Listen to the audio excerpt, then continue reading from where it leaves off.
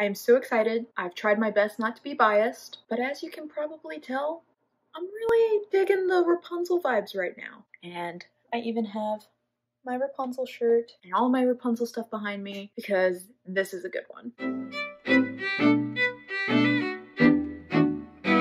Hey guys, I'm Libby, Rank Master at Punzie's Palace, and we are back today for more Quarantine Queen ranking, where we are doing our namesake today, Rapunzel. Before we get started, make sure to subscribe down below if you enjoy this series and other Disney content, and hit the bell icon so you know every time I upload. The ranking rules are only official Disney princesses, Sorry, Alice. Only the original movie and only focusing on the princess's actions. Princesses can gain and lose points based on how they follow pandemic guidelines, and the princess with the highest score at the end wins. Now, let's get on to ranking Rapunzel from Tangled. So to start off, she is literally born out of magic. That's a lot of points to start off with. So this means that Rapunzel herself it's literally magic. She has magic hair, but she also has like magic within her. We see this at the end of the movie. So this makes her a magical being, much like Fairy Godmother and like Genie. So because she's a magical being, that means she gets no points deducted at all. All right, bye. I'm just kidding. That wouldn't be very fun at all now, would it? So instead, I will be deducting points when she's interacting with people, just like I did with all the other princesses, but the points that she will get deducted will be at a bit of a discount, so she won't get as many deducted as the other princesses would because she's literally magic. Cool? Cool. Now she does get some deductions because a stranger comes and steals her away from her family, but she gets some points added because this stranger tells her how terrible the outside world is and to never go outside, so accurate, and a few more little added points for staring so lovingly and longingly at the outside world. It's very quarantine, especially if you live in a city and you look outside and you see how bare it is or you see how not bare it is because so many people aren't listening to the rules and are going outside and are inevitably making this quarantine much longer than it needs to be. Anyway, I digress she gets more points. And let's get this big chunk of points out of the way early. So she's been locked away in a tower for almost 18 years. So let's see, we'll say about four and a half points per year. Yep, we will be adding 81 points to her total. Also, no points off for her chameleon friend Pascal because she's been isolated with him her entire life and she never kisses him or anything. You're good, buddy. Then we see that she has also played at least 22 games of hide and seek with Pascal. That's 22 for me. How about 23 out of 45? That is quite the monotonous use of free time. Yes, very quarantine. And she also tells Pascal that it isn't so bad inside and she refuses his request for them to leave the tower. Yeah, I don't think so. Oh, come on, Pascal. It's not so bad in there. Also good. Then she does some major cleaning, much like Cinderella, where she does some sweeping, mopping, dusting, and laundry. Oh, and then she says she sweeps again. So very sanitary start. Also, she does this every day. Oh, and here, if you see, she's either doing dishes or washing her hands. Either way, very sanitary, more points. Also some more points for learning and gaining so many skills during her time in quarantine in the tower. Just to name a few, we have reading, specifically botany, cooking, and geology, painting, playing guitar, knitting, puzzles, darts, baking, paper mache, ballet, playing chess, pottery, ventriloquy, candle making, and sewing. And she's not just dabbling in any of them either. She really knows how to do these things and do them very well. Yeah, good chunk of points from all of that. And she gets more points for home decorating with all of her paintings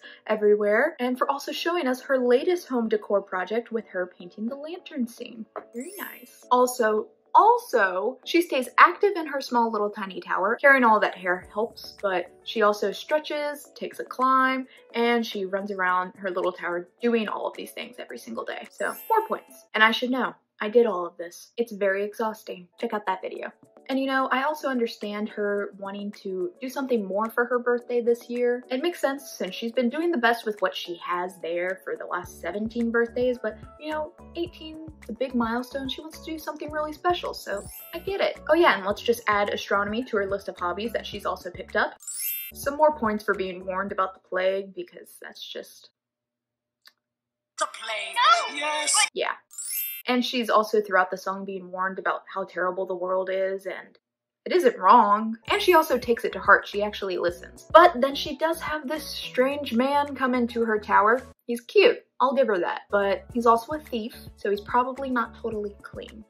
But she does get some points for knocking him out and running away from him immediately. Good. And some more points for not initially touching him. Like when she first inspects him, I thought she, maybe she touched him. She only touches him with the frying pan. Very distant. Very nice. Then she does touch him a few times when she's trying to put him into the closet. So that's not wonderful. Not a good thing. And she does touch the crown, which was heavily guarded, probably cleaned a lot, and only has been touched by Flynn throughout the movie so far, so not terrible, just a few points off. She does keep her distance from him when he first wakes up, so that's good. But then she gets closer to him throughout this whole interrogation sequence. She's not touching him, but she's close. Oh, yeah, and she sings and talks to animals. It's mostly Pascal, but still. She gets some points for that. Not as many, but some. Then she gets really close to his face to be intimidating, but not too many off here because she still is not touching him at all. She's touching the chair. And then she does leave the tower, which is fine no points off because you're allowed to leave your house, guys, just as long as you're not interacting with people. Also, she gets some more points for feeling so liberated and free when she first leaves her tower. I know I feel the same thing anytime I go outside just to walk in my neighborhood, and I know we're all going to feel this once this whole thing is handled properly and we don't have to fear going out in public. Oh yeah, and she's barefoot throughout the entire movie, just like Pocahontas, so I'll be taking a chunk off of points here as well. Then Flynn helps her up, only touching fabric though, but he also puts his arm around her, so not too great. And she does jump on his back to avoid a bunny. So that's also not good. That's a lot of touching and very, very close to him. Ah, yes. But then she enters the Snuggly Duckling, which is full of ruffians and thugs, and she bumps into one of them. But she does help Flynn from getting pummeled for no apparent reason, except that they're trying to arrest him, but you can do that without hurting him. So that's good. She's avoiding the unnecessary violence and putting a stop to it, and she does put a stop to it without touching any of them. Very good. Then Hook Hand does get very close to her. He doesn't touch her, but very close. And then during the song, he puts his arm around her too, so not great. But then Big Nose Thug is also near her, and he shows her a lot of his gross medical ailments and also shoves his foot in her face. So not great. And then she also touches him and is hugged in close with him, so more points off. And then she does a jig at the end and she catches Shorty from the sky. And yeah, not awesome. Man, Snuggly Duckling scene is not going well for her. But a few more points for avoiding the new strangers that are there to capture Flynn. Yes, they are just the guards, but avoiding more new people that you might interact with is generally a good thing. Then she kisses Hook Hand on the cheek.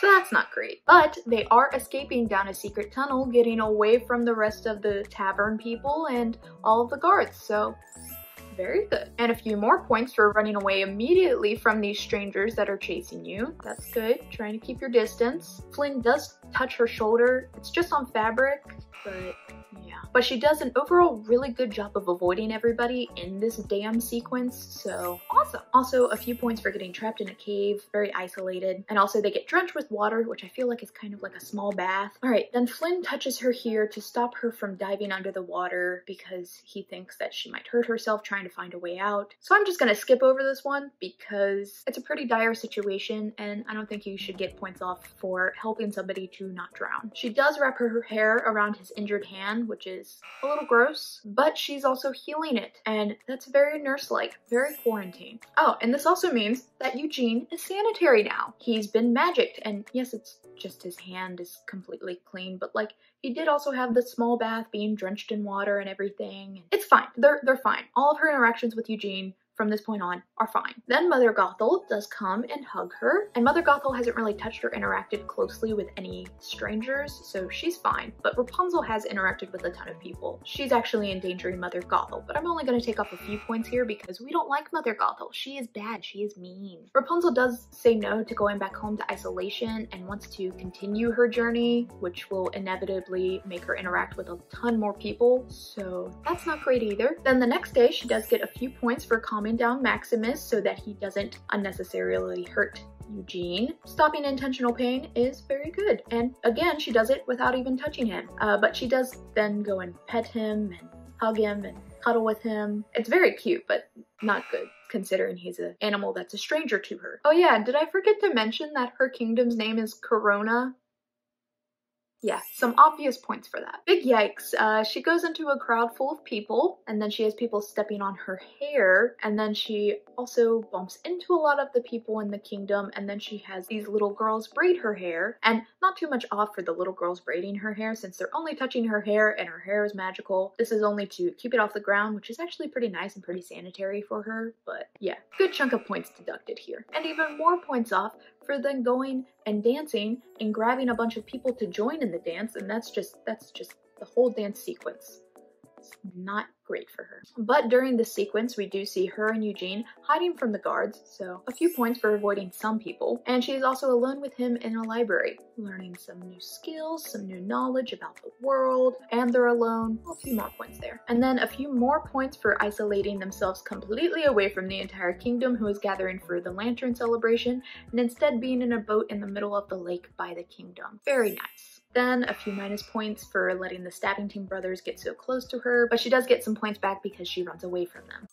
Again, another few points off for hugging Mother Gothel because Rapunzel was interacting with all the people in the kingdom, but not that much because we do not like Mother Gothel. I mean, I love her as a villain. She's a great villain. And sadly, she earned some more points for going back to her Tower of Isolation. A few more points for her spirit of not wanting to stop fighting. I won't stop for every minute rest of my life. I will fight. It's admirable. It's also very easy to give up right now when nothing's working in your favor and it seems like there's nothing you can do about anything, but you must keep fighting. It's not about how many times we're kicked down, it's about how many times we're able to still get back up.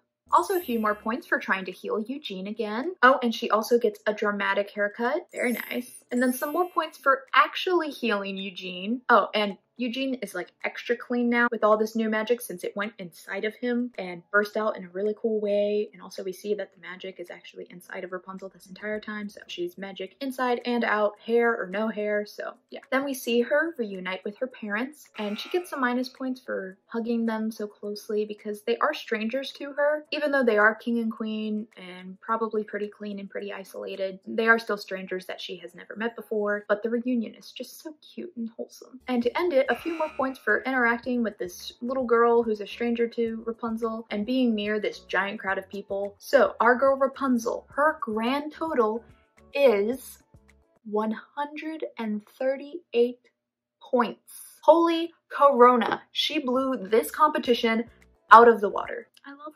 It helps that she was isolated for 18 years and learned so many new hobbies and is really very clean and also a magical being. All right, that means that Rapunzel, my girl, has taken first place away from Cinderella. Will any of the other upcoming princesses challenge Rapunzel for the crown? Stay tuned. I have a feeling one princess will come very close. Congratulations to everyone who guessed the positioning correctly, like Brittany Wilbur and Angela Jenkins, but a special shout out to Matt from Teacup for One for guessing the position correctly and only being one point off on her total score. He also understood that she would get a good amount of points from being quarantined for her whole life and basically being magic, so great job. Our next princess is Merida from Brave. Should be interesting since there's also a lot of magic in this movie, but there's also a lot of bears. Anyway, leave a comment down below with your guess on how many points she'll end up with in the end and what her final ranking will be. If you like this video, be sure to give it a thumbs up